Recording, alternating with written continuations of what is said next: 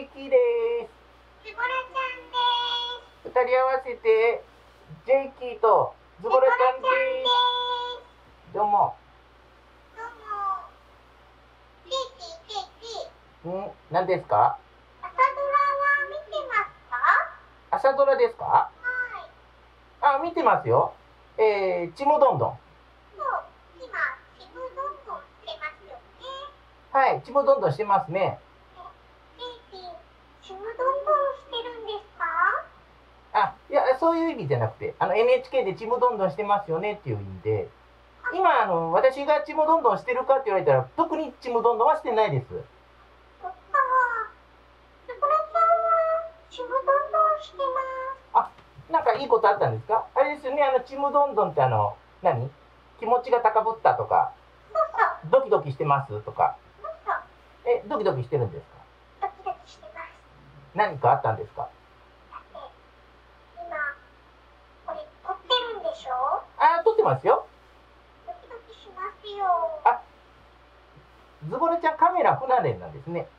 はーい。で、ちむどんどんは、ズボラちゃん見てるんですか？録画して夜中に見てます。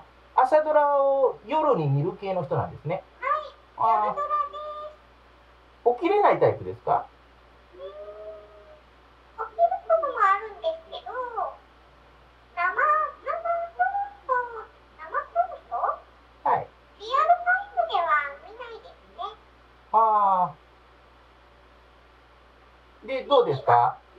ちむどんどんは好きですか？自分の方はツッコミどころが満載です。ツッコミどころ？はい。ああ、あれですか？あの、け賢秀でしたっけ？そう。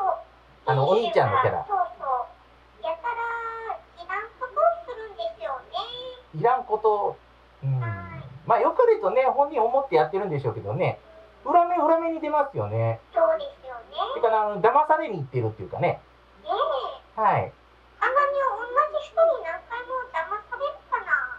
そうですよね。お同じ人に、え、3回ぐらい騙されてます？騙されてます。珍しいですよね。同じ人に3回騙されてる人ってね。ね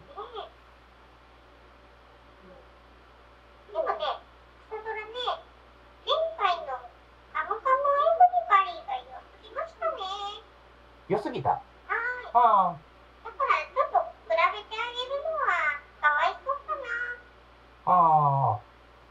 今、あの、主人公の女の子頑張ってるじゃないですか。なんかお、お料理一生懸命お店出そうとして今ね。ね、頑張ってますね。沖縄料理は好きですか？あ僕好きですよ。あの、沖縄そば、ソーキそばっていうんですかね。あの、三枚肉の入ったあのそば、うどん？うん、大好きですよ。あれはソーキそばじゃなくて沖縄そば。ソーキそばは、あの、軟骨とかがゴリゴリしてるお肉が入ってるんですよ。ああ、そっかそっか。えー、三枚肉が入ってるのが沖縄そば。そうそう。何個入ってるのがソーキそば。え、ズボラちゃん沖縄は行ったことあるんですか？沖縄ね、あ、あります。泳いで。おようにでではなくて、目が覚めたら沖縄にいました。え、沖縄にいたんですか？はい、目が覚めたら沖縄にいました。あ流されていったってことですか？かもしれないですね。ああ、大変ですね。はい。ささぞかし、血もどんどんしたでしょうね。